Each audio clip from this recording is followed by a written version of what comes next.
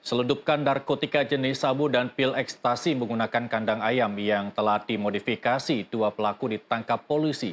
Keduanya mengaku mendapat upah 5 juta rupiah sekali kirim. Yang satu kilo, yang satu kilo, kau buka dulu. Iya, Pak. Kau cintakan? Satuan Reserse Narkoba Polresta Pekanbaru menangkap dua kurir pelaku pengiriman narkotika jenis sabu sebanyak 11 plastik besar dan 4.570 butir pil ekstasi yang disimpan ke dalam kandang ayam modifikasi.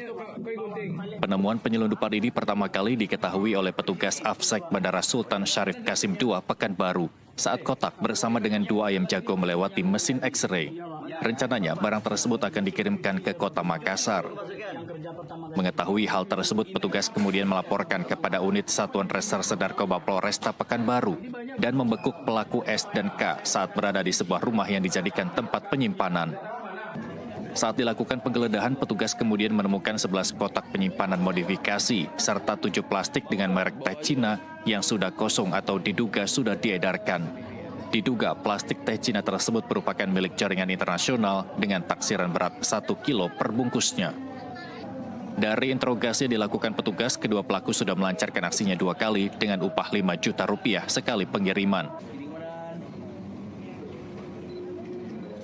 Mereka sudah dua kali ya teman-teman ya, sudah dua kali.